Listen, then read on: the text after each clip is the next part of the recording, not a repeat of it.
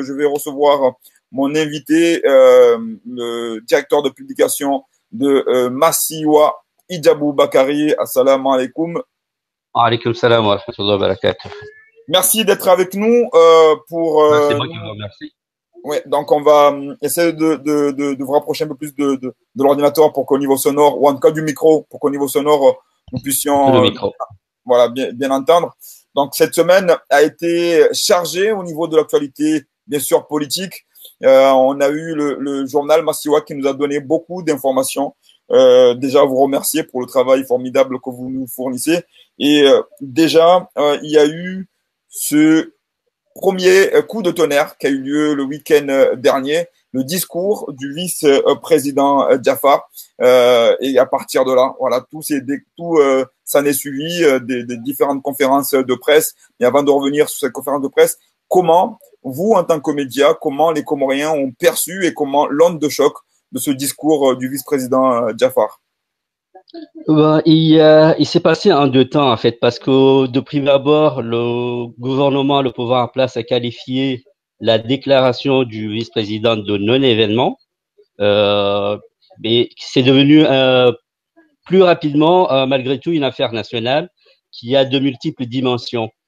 Euh, comment ça s'est passé? Bon, il y a tout le monde en fait s'attendait à, à, la sortie de, de Jafar parce que euh, c'est secret pour personne que les deux les deux hommes d'État que sont le président et, et son vice-président, ça fait un petit moment qu'ils s'entendent plus, mais vraiment plus du tout quoi. Euh, même c'est les proches conseillers du du vice-président se demandaient à quel moment en fait il, il, il allait se déclarer publiquement tellement ça n'allait pas, ça ne va pas au sein du gouvernement entre les, les, deux hommes. Donc la déclaration du, du vice-président était attendue et ça n'a surpris vraiment personne euh, du tout. Par contre, ce qui a surpris, c'est euh, les arguments utilisés, c'est la, la hargne et puis le, le, ton et, et, la, et le fond vraiment. Parce qu'il s'est positionné en tant qu'homme, en tant que juriste qu'il est, euh, et il a descendu, mais vraiment point par point, euh, les, arguments avancés par le pouvoir. C'est ce qui a fait le plus mal. C'est pas parce que bon, c'est un fait euh, que le vice-président se désolidarise autant euh, et remet en cause la politique gouvernementale. Ça pose vraiment un problème parce que ça a été fait, c'était rappelé, on l'a rappelé, tous les médias l'ont rappelé. C'est pas la première fois qu'un vice-président s'oppose à son président. Euh, il y a eu le cas d'Idinagram, il y a eu le cas sous, sous euh, Azali Ier, il y a eu le cas de, de aussi. Euh, plus récemment avec Ikililou, il y a eu Fouad Mouhadji, mais c'était euh, des oppositions feutrées, c'était au sein du gouvernement, ça sortait pas vraiment. Mais là que le vice-président prenne la parole publiquement euh, dans un jour, euh, dans, une manifestation comme ça où il y a Tungaziga qui est réuni, rappelons que Jafar il est le vice-président de Ngaziga et qu'il part à, à à Amrodjou, pour prendre la parole et s'opposer directement, ouvertement, de cette façon-là au président, euh, ça ne pouvait pas euh, passer inaperçu en fait. Il a choisi le bon moment, il a choisi un bon timing et puis le discours y était et la fond et le fond et la forme pour vraiment déstabiliser le gouvernement. Est-ce que euh, vous l'avez dit, hein, Idiabou, est-ce que la sortie du président, on connaissait la, la, la divergence entre le président et son vice-président. Euh, et euh, mais vous l'avez dit, hein, tout le monde s'attendait à une sortie. Mais est-ce que cette sortie-là, au niveau de la presse, est-ce que vous vous attendiez à ce que cette sortie-là se fasse ce jour-là, cette journée où il devait présenter les vœux de l'Aïd en Gaziga chez euh, le, gouverneur de, de, Est-ce que vous, honnêtement, vous attendiez à une sortie de la sorte au niveau médiatique? Pas du tout, pas du tout, sincèrement pas du tout. Parce que cette déclaration euh, était attendue depuis un petit moment. En fait, on nous l'annonçait et puis remise, re-annoncé, remise, ainsi de suite. En plus, la vraie surprise, c'est pas seulement le fait que Jaffa ait parlé, en fait. Nous, on s'attendait à ce qu'il y ait Jaffa et d'autres personnes qui parlent en même temps. Mais ce jour-là, on n'attendait pas du tout Jafar. C'était la vraie surprise, c'était ça, ce que Jafar prenne la parole ce jour-là à cet endroit-là. On s'attendait à ce que le, le, le gouverneur persiste, donne encore plus de garanties à l'opposition qui s'engage avec eux, euh, mais pas à, à l'annonce de Jafar, pas du tout. Alors, à la sortie, euh, immédiatement après son annonce, il y a eu sur les réseaux, les réseaux sociaux sont emballés. Certains pro-Azali du gouvernement ont appelé, on va dire, la démission de, de, de, de, de Diafar, du vice-président Diafar. Certains ont même dit, quand on est ministre, soit on, on la ferme, soit on, on, démissionne. Et justement, avant d'aller encore plus loin, avant de, de, montrer les déclarations des uns et des autres, et notamment des autres vice-présidents, je voudrais qu'on accueille le doctorant Rafsanjani pour nous donner le statut particulier euh, du, euh, du vice-président pour qu'il puisse nous dire si le président est aujourd'hui un membre du gouvernement comme les autres ou si son statut est, est particulier. Euh, Rafsanjani, salam alaikum. Alaykoum salam. Donc, vous nous avez suivis. Hein. Merci encore une fois d'être là pour pouvoir apporter des éclaircissements sur notre constitution à tous les Comoriens du monde qui, nous suivent. Vous, euh, comme nous tous, avons suivi les événements qui ont émaillé euh, la politique euh, comorienne cette semaine. Vous avez suivi, vous avez entendu, vous avez écouté le discours du, vice-président. D'abord, avant de répondre à ma question, sur le fond, comment avez-vous trouver les arguments qu'il employait en tant que juriste, en tant que, vice-président, bien sûr, mais c'est aussi un, juriste. Comment, avez-vous, euh, euh, comment analysez-vous euh, la sortie du, du vice-président? Bien, moi, j'étais, euh, agréablement surpris. Je ne suis pas journaliste, je ne suis pas au fait euh, des secrets du palais, mais comme j'ai coutume de, les appeler, les juristes du palais, eux, ils avaient un argumentaire un peu, un peu, un peu convenu. Et là, j'ai retrouvé effectivement, comme, comme, a dit, comme a dit Djabou, j'ai retrouvé un, un juriste plus qu'un vice-président. Son discours est, il est remarquable, son discours. C'est-à-dire que vous avez des arguments juridiques, pas un seul moment, vous avez un retentissement politique, mais c'est des arguments juridiques bien calés. J'avais même l'impression que j'aurais, même pu écrire ce discours, tellement c'était des arguments juridiques bien, bien ficelés. Donc j'étais agréablement surpris. D'abord, enfin d'abord et puis surtout parce qu'il en a appelé au droit. Et ça, ça m'a, je suis euh, très sensible. Oui, justement, le, droit, c'est l'argument que vous sortez souvent en disant on ne parle pas de politique avant de parler politique. Euh, restons dans le droit pour que la politique puisse s'exprimer. Euh, on a eu ensuite des sorties politiques, euh, des gens qui ont demandé la démission du vice-président. Est-ce que vous pouvez nous rappeler le statut aujourd'hui du vice-président et des vice-présidents de, de, de l'Union des Comores? Alors, pour comprendre le statut du vice-président, il faut remonter à l'élection présidentielle. Il faut que les Comoriens comprennent que notre élection présidentielle est une élection un peu particulière, c'est-à-dire que c'est pas une élection uninominale. On vote une liste, un ticket. On vote une liste, il y a quatre noms. Donc lorsque le Comorien glisse le bulletin dans l'urne, l'onction du suffrage universel se déverse sur les quatre. C'est les quatre qui ont l'onction du suffrage universel, de sorte que euh, au sortir de l'élection, nous avons quatre élus ce sont quatre élus qui sont à égalité de légitimité. Il n'y en a pas un qui est plus légitime que l'autre, puisque c'est l'élection présidentielle au suffrage universel direct qui a déversé l'onction du suffrage universel. De sorte que ce vice-président, il, au même titre que le président, dispose de la maîtrise de son mandat. C'est-à-dire que il a la garantie de la durée, euh, que ne peut rompre que volontairement par une démission, volontaire que par des circonstances qui sont extérieures à sa volonté, euh, la maladie ou la mort ou la disparition, ou bien, le cas échéant, euh, le suffrage universel lui-même, c'est-à-dire en cas de fin de mandat, s'il n'est pas réélu ou s'il ne se représente pas. Donc, euh, le vice-président aujourd'hui est un élu dans la Constitution, et puis surtout, il a d'autres d'autres caractéristiques, c'est qu'en plus d'être un élu il est obligé, c'est une obligation de la Constitution, d'être à la tête d'un département ministériel, donc c'est un vice-président ministre. Et puis surtout, il a une mission euh, qui est un peu méconnue, euh, c'est-à-dire que le vice-président est ce qu'on appelle le coordinateur de l'action de l'Union au niveau de l'île dans laquelle il est issu. C'est-à-dire qu'il doit s'assurer que le droit de l'Union est justement appliqué dans l'île dans laquelle il est issu. Donc je reviens avec le, le directeur Idabou euh, Bakari. Euh, vous avez entendu les premiers arguments de, de, du docteur Rafsan Djani, euh, qui malheureusement a un petit problème de connexion, mais qu'on va qu'on va pouvoir récupérer. euh, il a parlé de, du statut du, euh, du vice-président, que vous connaissiez certainement en tant que, que journaliste. Comment avez-vous perçu, comment vous avez-vous reçu ces appels à démission de certains membres militants euh, du clan euh, du pouvoir?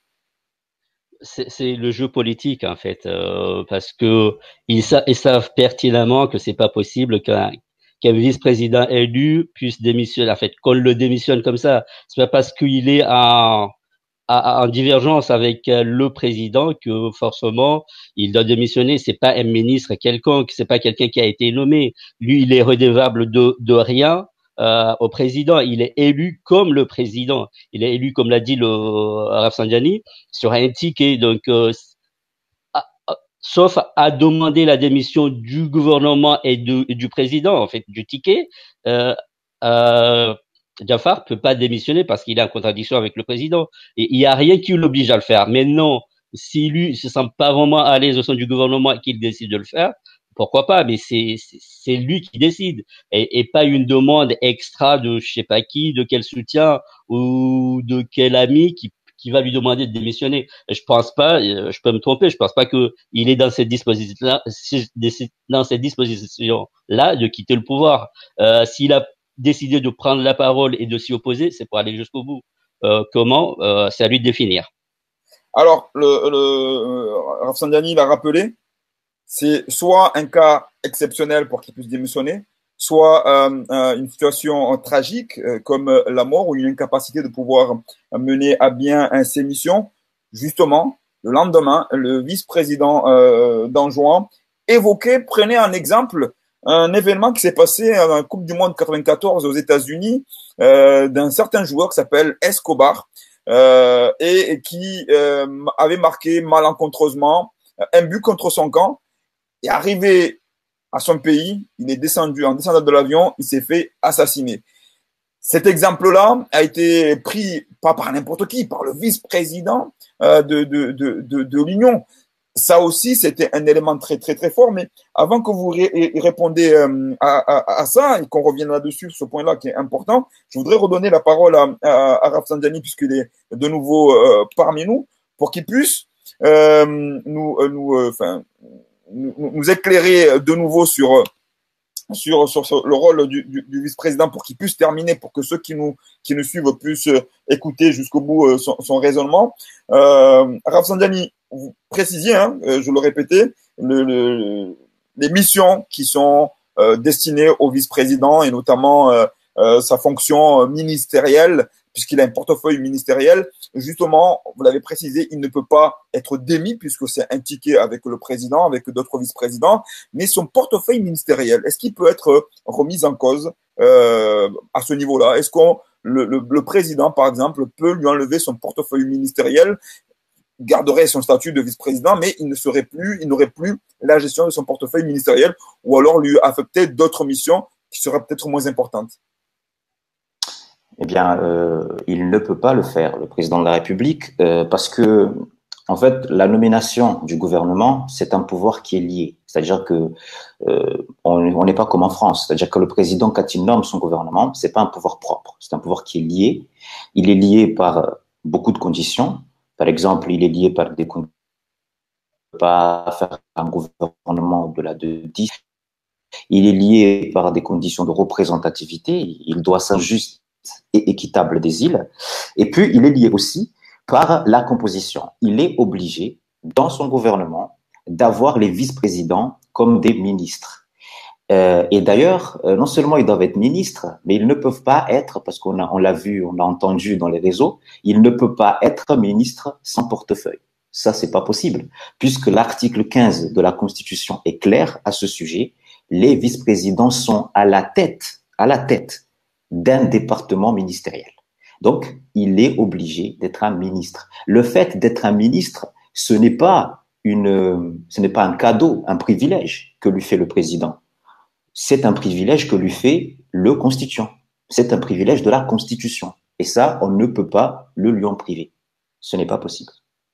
Alors, et là, je reviens maintenant sur ce fait euh, des, des, des réactions. Et parmi ces, parmi euh, ces réactions-là, il y a eu euh, celle de, du vice-président Moustadiram euh, qui a pris l'exemple de, de, ce, de ce footballeur Escobar qui avait marqué contre son camp et ensuite qui est arrivé dans son pays, en Colombie pour préciser, et qui s'est fait assassiner. Il a été traité de traître. Le mot est fort. avant de, de donner le, le, la parole à, à, à Rafsandiani, Idjabou Bakari, euh, comment avez-vous, vous, en tant que média, perçu, puisqu'on l'a reçu en direct hein, euh, dans les réseaux, perçu cette, ce, ce vocable-là, ces, ces, termes euh, de traître et notamment de prendre cet exemple euh, avec, euh, avec le parallèle avec Escobar, qui a été assassiné. Et quand le, le docteur Rafsandiani rappelle que une des possibilités pour que le vice-président puisse perdre ses fonctions, c'est la mort, ça, ça résonne quand même euh, comme, euh, comme, euh, comme une provocation, pas une provocation, mais comme des menaces. Euh, super trahison, c'est le terme qu'ils ont utilisé. Super trahison, le président a dit traître et lâche.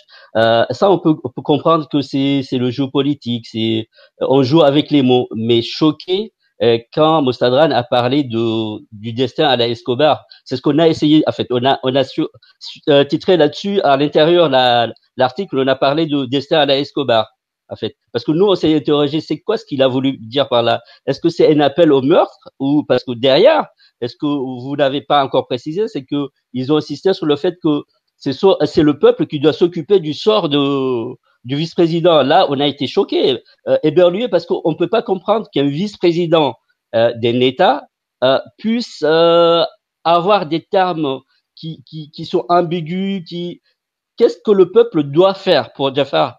Il l'a élu, il est, euh, il est contre le pouvoir actuel, contre le, le, le, projet du président, mais ça veut dire quoi euh, Que le, le peuple s'occupe de son cas, c'est quoi? Donc nous, on s'était posé la question, on allait vraiment titrer sur est-ce qu'un appel au maître On se dit c'est un peu plus fort en fait. Faut pas qu'on rajoute de l'huile sur le feu. Euh, on a on a simplement dit est-ce que c'est appelé un, un destin à l'Escobar? Parce que ça nous a vraiment choqué. Euh, et ils ont été forts. Euh, bon, vous voyez le, le, le notre une, euh, et on s'est demandé si vraiment ces, nos vice-présidents étaient vraiment libres de, parole quand on voit la première dame, la première dame, excusez-nous, hein, c'est la première dame qui est juste assise à côté. Est-ce que ces gens-là n'étaient pas sous surveillance et qu'il fallait peut-être surenchérir pour que eux non plus, parce que à un moment donné, euh, il faut qu'on arrive à dire les choses telles qu'elles sont. À un moment donné, ces deux vice-présidents étaient soupçonnés de vouloir, de devoir aussi signer le mémorandum. Il devrait y avoir un mémorandum entre le, gouverneur d'Anjouan, les, trois vice-présidents et les deux autres gouverneurs. En fait, l'exécutif hors, euh, du président devait signer un mémorandum commun. Euh, peut-être que le potereuse a été découvert et qu'on les a obligés, c'est une supposition, il n'y a rien d'avéré. Moi, je pose la question, est-ce qu'ils n'étaient pas obligés de réagir ainsi? Parce que ce que nous, nous, on a appris, ou qu'on nous a dit, on n'a pas appris, c'est que cette conférence de presse-là, elle n'a pas été organisée par les vice-présidents. C'est la présidence qui a organisé la, conférence de presse. Et eux, on leur a dit, vous y allez à telle heure pour parler de de telles choses. Ben, ben, si on leur a dit d'y aller, peut-être qu'on leur a dit aussi ce qu'ils devaient dire, hein. euh, ce qui n'enlève en rien les responsabilités des propos de ces deux vice-présidents, mais c'est dire l'atmosphère qui règne ici. Euh, je pense pas vraiment que euh, ils n'étaient pas sous pression pour dérailler à ce point. Oui, parce que le, le, le, terme, le terme est fort, super euh, trahison. Euh, c'est des termes qui, qui, qui, comme encore une fois, je, je, le précise, qui ne sont pas employés par, par n'importe qui, mais qui sont employés par le, le vice-président, c'est-à-dire la deuxième voire la troisième personnalité de, de, de, de, de l'État. Donc, docteur Afsandiani, quand vous vous avez eu, quand vous avez lu ces propos, d'ailleurs vous en avez un peu euh, joué, ri sur votre propre mur. vous avez fait, vous avez, vous avez joué avec ça. Comment vous, en tant que citoyen, avez-vous réagi quand vous avez vu qu'une personnalité comme le vice-président de l'Union parle de super trahison et quelque part fait un appel au meurtre?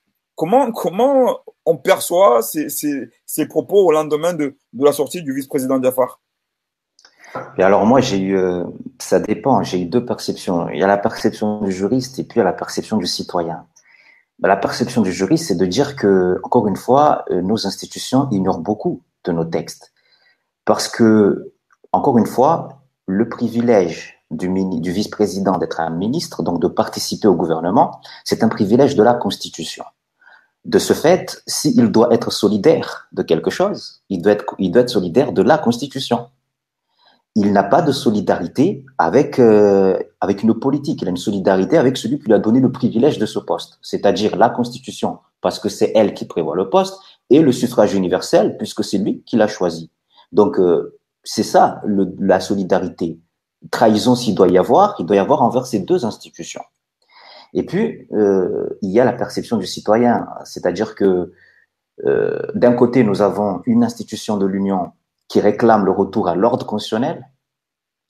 Et d'un autre, on a une institution de l'Union dont on dit qu'elle viole l'ordre constitutionnel. Et nous, les citoyens, en tout cas certains citoyens, réclament la démission non pas de celui qui protège l'ordre, non pas celui qui réclame le retour de l'ordre, mais celui dont on soupçonne d'avoir marché sur l'ordre. Et je me dis qu'on a, il y, a un problème euh, de perception, on va dire, des réalités des institutions. Et, euh, et, donc, encore une fois, euh, il n'existe pas de devoir de solidarité avec la forfaiture constitutionnelle, comme il n'existe pas de devoir de réserve face à une faillite euh, et une violation du, texte. Donc, ça n'a pas de logique juridique. Et là, on a dépassé la logique juridique quand on arrive à, faire un rapprochement entre Escobar et le, et le vice-président de l'Union. Parce que là, on est en train de parler on met, on Jafar de côté, on met Moustadran de côté. On est en train de parler d'une institution de l'Union. Et, donc, euh, ça, pour moi, c'est allé beaucoup, beaucoup trop loin. Alors, les mots, comme on l'a précisé, ont, un sens. Euh, ce qui s'est passé ensuite, c'est qu'on a eu euh, euh c'est qu'on a eu ensuite un balai, un balai de conférences de, de presse entre les pros, entre les, les anti, entre. Alors, on a eu une journée me semble c'était mardi ou mercredi, euh, deux conférences de presse d'un même parti, euh, c'est-à-dire une le matin du parti blanc euh, qui est celui dont est issu le vice-président Jafar. Donc le matin, le, le, parti a fait une conférence de presse pour dire qu'elle se désolidarisait de la position du, vice-président Jafar, qui c'était une un, un, engagement personnel et qu'en aucun cas il avait il avait euh, averti euh, les, les, partisans du, du, du, parti. Le même jour, à quelques heures d'intervalle, le secrétaire général fait une nouvelle conférence de presse et il dit tout l'inverse de ce qui a été dit le matin, à savoir non, c'est une décision courageuse qui engage le parti, c'est le parti,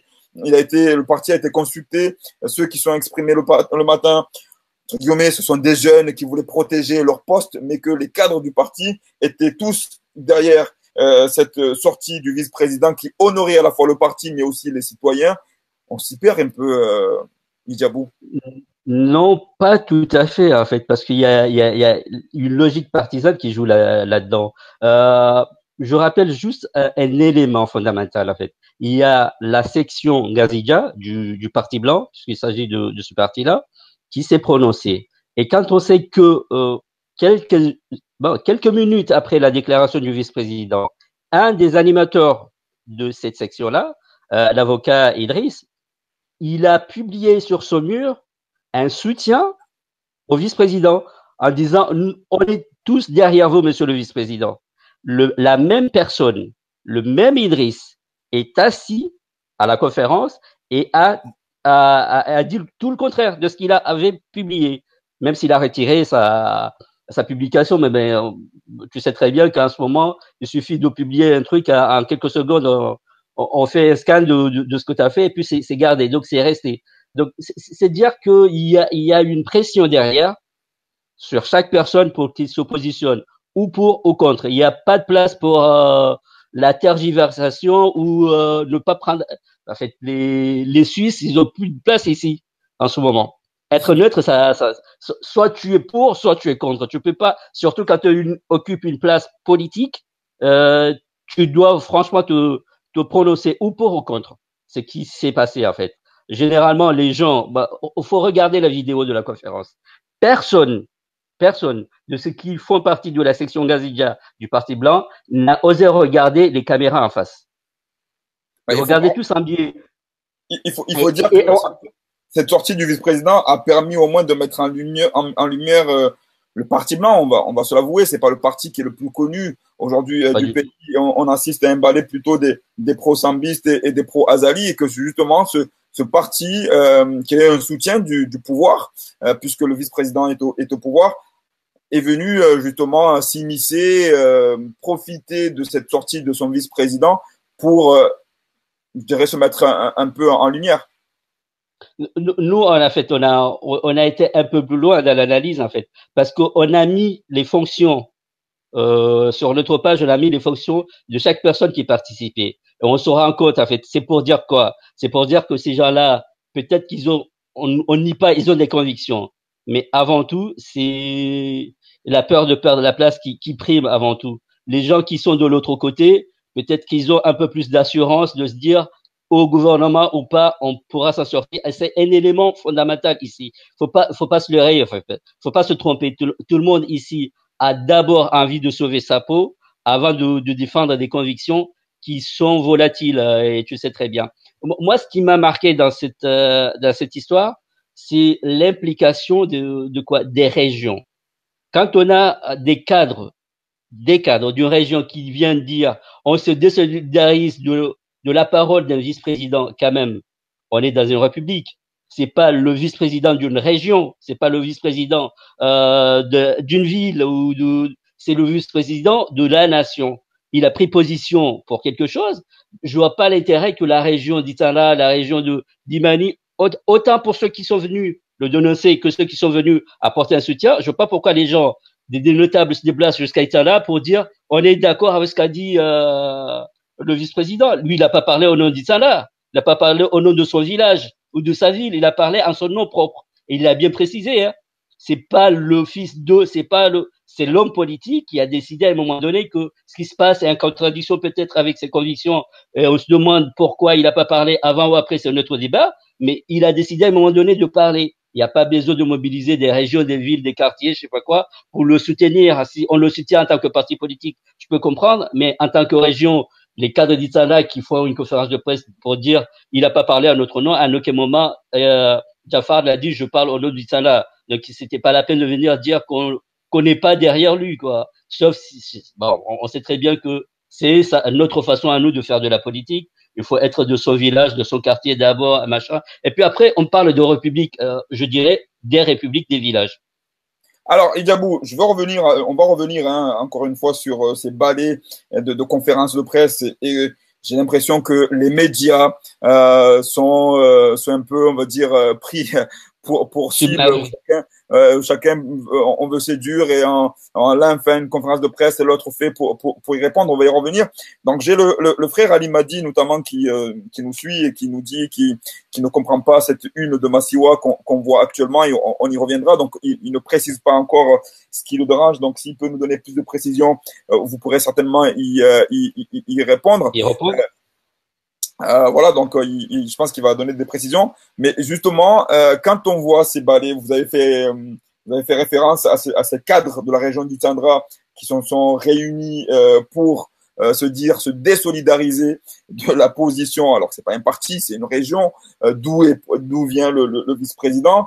Et encore une fois, on, on est encore dans une situation, notre pays est encore dans une situation partisane, pas au niveau des idées, mais au niveau à la fois de la régionalité au niveau de la personne, mais à aucun moment, comme le disait le docteur Rafsanjani, sur euh, ce qui est de la loi, ce qui est euh, du droit et ce que nous dit la Constitution.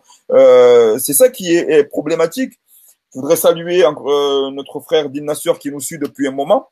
Euh, mais quel est votre regard à ce niveau-là, en tant que journaliste, de vous déplacer à chaque fois ou de nous déplacer à chaque fois qu'il y ait des appels de conférences de presse? Est-ce que ce n'est pas jouer aussi le jeu on va dire, de, de la diffusion, ou alors, ou est-ce que c'est le rôle, c'est notre rôle euh, d'aller de, de, de, de, porter le micro à ceux qui veulent s'exprimer? Euh, pour l'instant, nous, comme on vient d'arriver, on a en fait on a un concept qu'on n'a pas encore pu développer vraiment. Euh, euh, avoir notre propre agenda, c'est pas encore le cas, mais ça va pas tarder parce qu'on on a encore un mois avant de le mettre en place. C'est vrai que au sein de la rédaction, il y a débat sur le fait qu'à chaque fois, il faut y aller pour entendre le même discours. En fait, même en n'étant pas là, on pourrait peut-être écrire le papier sans y être. Parce que c'est très bien le discours qui va être tenu.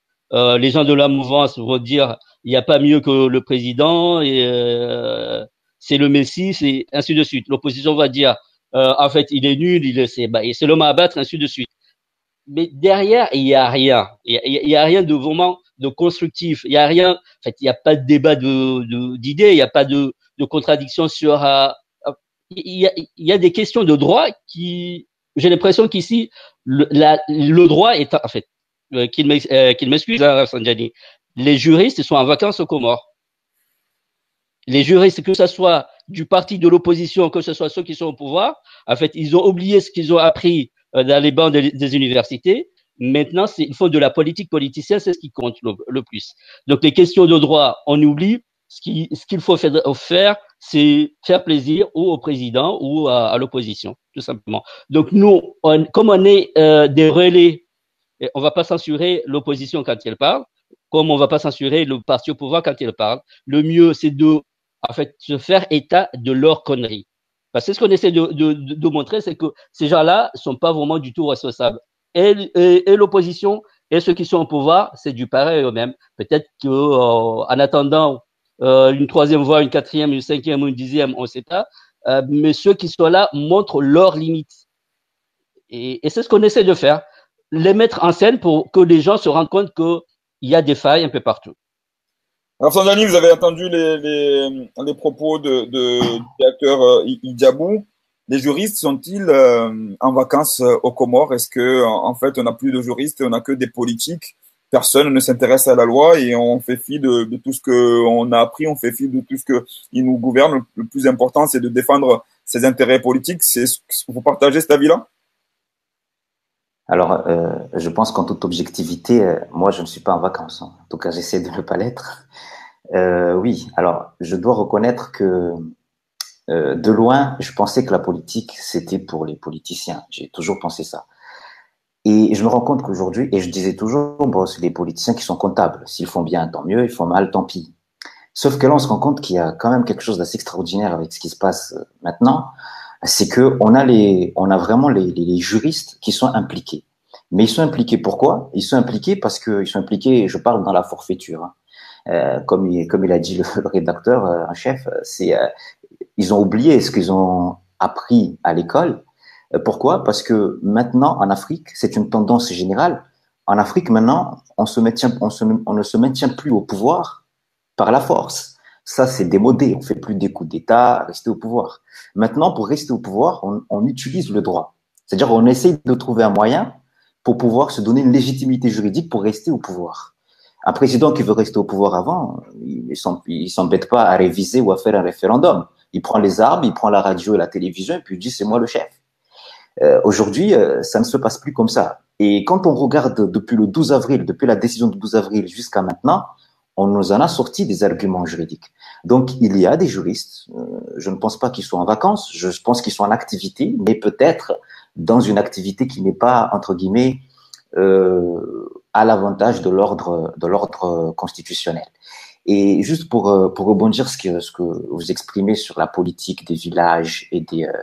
Euh, juste pour dire que ça, encore une fois, c'est une méconnaissance des textes parce que il n'y a aucun représentant dans toute la République, c'est-à-dire le président, le vice-président, les députés, les conseillers des îles, il n'y a aucun représentant dans toute la République qui est un représentant d'un territoire. Ça n'existe pas dans le texte. Tous les représentants sont des représentants de la nation. Ils représentent la nation. On ne peut pas, par exemple, dire je suis un député ou un vice-président euh, d'Itsandra ou d'Umbadjini. On est élu dans une circonscription, mais on n'est pas élu par une circonscription. On est élu dans Itsandra, mais c'est pour représenter la nation. D'ailleurs, s'il n'y avait qu'un seul député qui serait présent à l'Assemblée, que la nation serait quand même représentée. Parce que lui, il représente la nation. Donc, il n'y a pas de logique de territorialité dans les textes. C'est juste qu'effectivement, c'est une manière à nous de faire de la politique, mais c'est une manière, encore une fois, de mettre de côté le texte qui met en avant la représentation de la nation, heureusement. Alors, avant de, fermer ce volet, de revenir sur les événements qui, ont, qui sont arrivés euh, hier, euh, dans un restant poste, vous disiez que dans tout ça, je pense que c'était ironique ou pas, vous allez me le préciser, qu'il y avait une bonne nouvelle euh, dans ce qui arrivait. Expliquez-nous euh, justement cette, cette ironie euh, pour encore une fois revenir sur euh, ce qui se passe actuellement au niveau du pays, euh, euh, bah, la bonne nouvelle, c'est que bah, souvent on, se plaint d'avoir d'être toujours en arrière, d'être en arrière par rapport au pays. Là, je remarquais que nous avons réussi notre pays à faire une première dans l'histoire de toutes les démocraties, je dirais modernes, parce que ça serait trop large. Mais on a quand même réussi un exploit, c'est que nous avons ouvert une session parlementaire le 6 avril en grand pompe d'ailleurs. Hein, on a lu le Coran, on s'est rappelé des dieux, on a mis en place les députés, on les a ouverts le 6 avril et on a fermé la même session parlementaire, on l'a fermée le 22 juin, donc, donc hier, sans que on n'ait jamais siégé, ne serait-ce qu'une seule fois. On a ouvert une session parlementaire, on a fermé une session parlementaire sans que les députés n'aient pu siéger. Et le problème que les Comoriens comprennent, c'est pas qu'on n'ait pas siégé, c'est que dans la mesure où on n'a pas siégé, du coup, on n'a pas voté des lois. Du coup, on n'a pas contrôlé le gouvernement. On n'a pas rectifié la loi de finances. On n'a on n'a même pas pu mettre fin au pouvoir exceptionnel du président qu'on aurait pu faire si on avait siégé. En gros, on n'a pas représenté la nation, puisque le pouvoir législatif, c'est la représentation de la nation. Et vous savez que quand la nation ne trouve nulle part où se représenter, eh bien, elle se représente où elle peut. Et là, on se retrouve avec tous ces scènes de violence et de manifestation dans la rue. Parce que les institutions de représentation, malheureusement, ils n'ont jamais réussi à faire ce travail. Et donc, on a ouvert en avril, fermé en juin, une session parlementaire, sans qu'il y ait un travail parlementaire, ce qui est assez, assez extraordinaire.